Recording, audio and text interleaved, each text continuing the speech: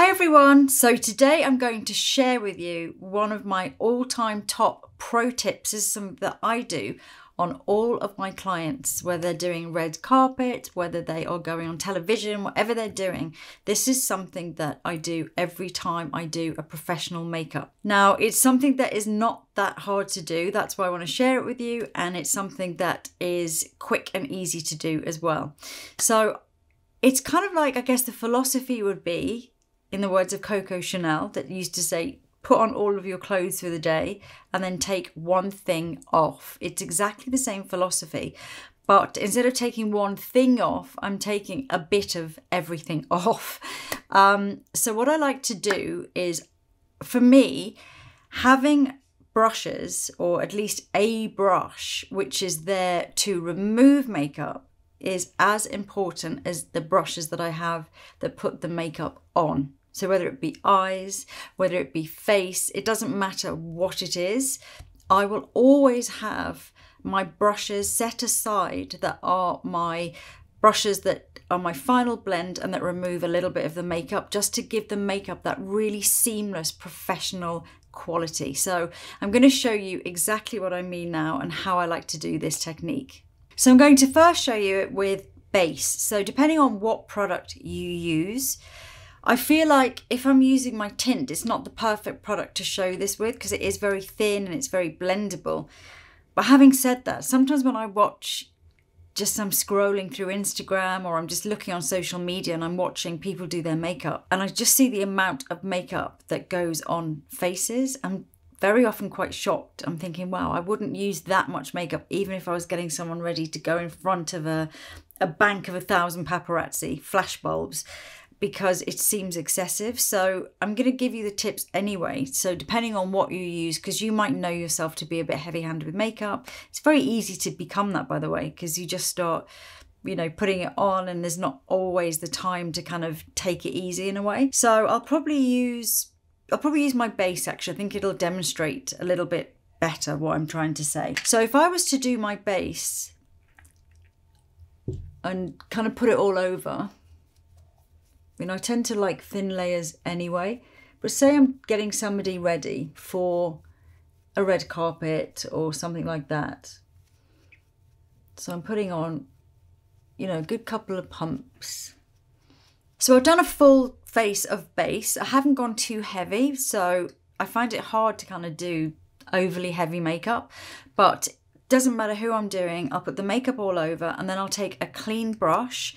I want to show you like the different types of brushes that I use for this. My philosophy is the brushes that put the makeup on are as important as the brushes that take the makeup off. And what I mean by that is a clean brush, once you say done your base, that just goes all around the edge, into the hairline, maybe onto the ears, little bit around the jawline, kind of just blending onto the neck.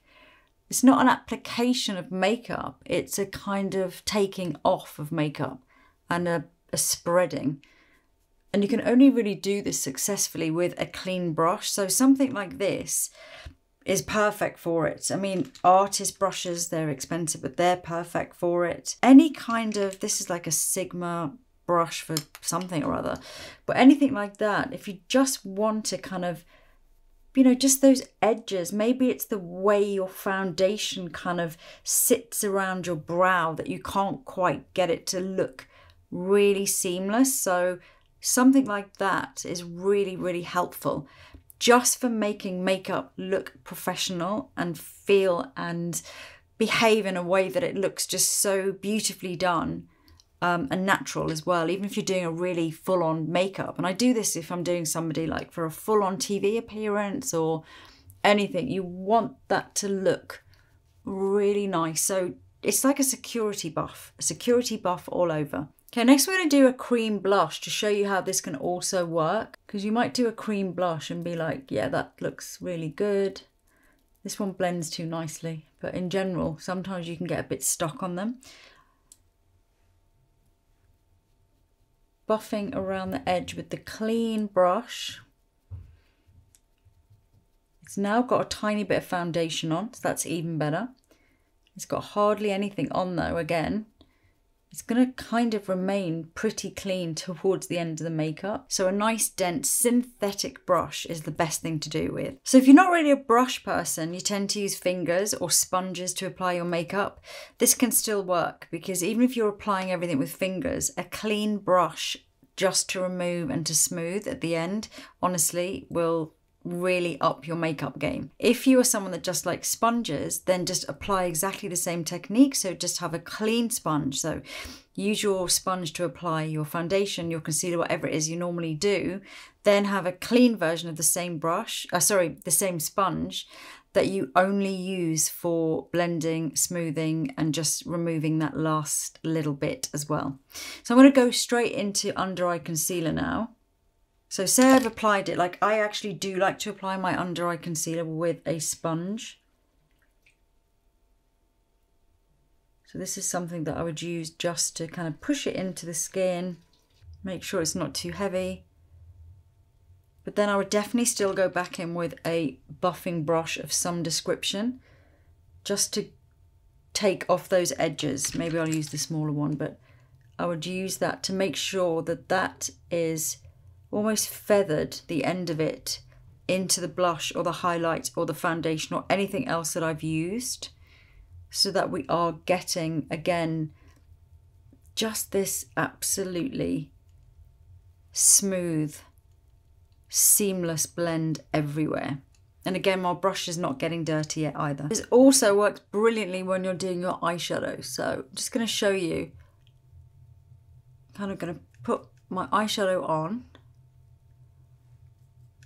and then just show you the difference between a kind of finished eyeshadow and one that's had a really good buff with a clean brush at the end. It might not even pick up on camera, but in real life, it is the difference between a good makeup and a really good professional looking makeup. Because that's a reasonably well applied. I haven't finished yet, but I'm just going to show you how like going in with a brush a clean brush. You could use a completely clean one, obviously. Just keep a clean eyeshadow brush that you don't use to apply with.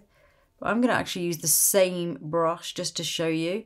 The fact that it's got a little bit of blush on is actually really handy. Not that it's much, but kind of brings the whole face together. And you can see, just going over with this clean brush, just makes everything blend amazingly. Just doing the other eye. Obviously, because it tones it down, you can add a bit more, but at least you know that your base is so well blended. So now if I wanted to go back in and add a little bit more, at least I know that my edges like is so seamlessly and beautifully blended. And then as you add more, like if you start doing a stronger socket line and you want to go back in, just take your brush again and you just blend.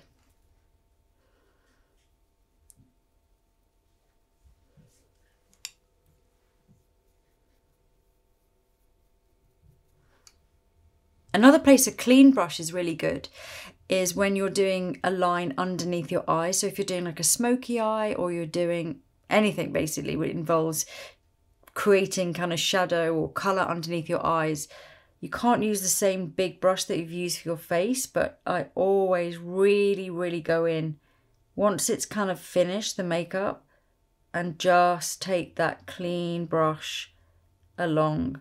It just helps to kind of soften that edge. So I've just done my mascara, my brows and my lips.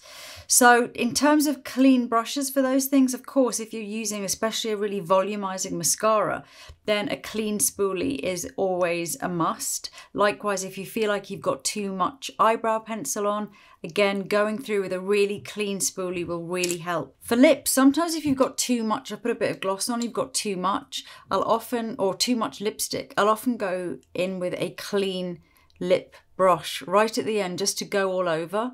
I'll either use like a little small eye brush or just a completely clean lip brush just to pick up if I feel like there's just a bit too much product on there. So that is the finished look. End up doing a bit of a purpley eyeshadow, bit of a spring vibes here. But yeah, honestly, this tip about clean brushes, you can use tatty old brushes, ones that you don't even use that much brushes which are really inexpensive, anything that you can have on hand that you just don't really put a lot of makeup on. So whether it be a big buffer like that, just to really smooth out base and base products, whether it is something like this one, which I kind of used everywhere, which I'm actually going to use now to do my powder as well. So this has been used throughout the whole makeup at every, well, I've used it on eyes, I've used it on everything apart from my lips really to blend. And it's still actually doesn't look like it's been used very much. I use that for I used it for cream blush, powder blush, eyeshadow blending, um, my foundation, my concealer, and now I'm using it for powder. But just really ensuring that everything is blended. So it's not about having a brush that puts makeup on, but brushes that take makeup off. Blend and take makeup off. They are equally as important in my book. Hope that was helpful. Let me know in the comments if you do have any brushes that you use exactly for this purpose, and I'll see you soon.